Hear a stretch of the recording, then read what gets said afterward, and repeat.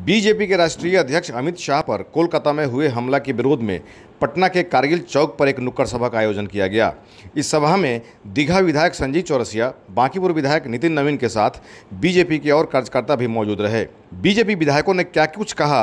आइए सुनिए। देश में भारतीय जनता पार्टी के कार्यकर्ता आक्रोशित है और हम चेतावनी देना चाहते हैं ममता बनर्जी जी, आप चेत जाइए, वरना आने वाले समय में भारतीय जनता पार्टी के कार्यकर्ता आपको ईद का जवाब पत्थर से दिया जानता है।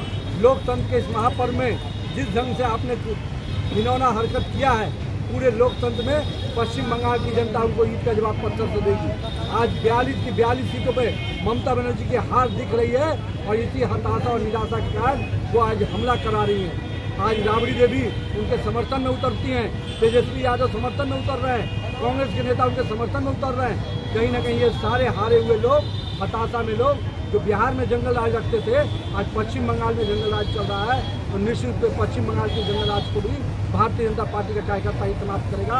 हमारे राष्ट्रीय अध्यक्ष का हमला का जवाब हम निश्चित रूप से पश्चिम बंगाल में तृणमूल कांग्रेस के सफाया के साथ समझती है कि इस प्रकार का कर्तृत्व करके भारतीय जनता पार्टी वहाँ झुकने वाली और भागने वाली है?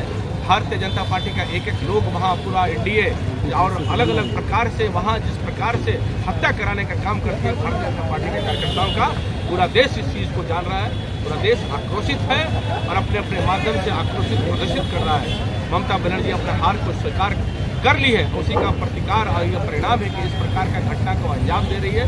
वहाँ जय श्री राम अलेख नारा को बोलने पर जिस प्रकार से ममता बनर्जी जेलों में घुसने का काम करती है वह वास्तव में पूरा देश इसको प्रतिकार करती है। पूरा देश राष्ट्रीय अध्यक्ष जी का जिस प्रकार का घटना हुआ है, उसका निंदा करती है।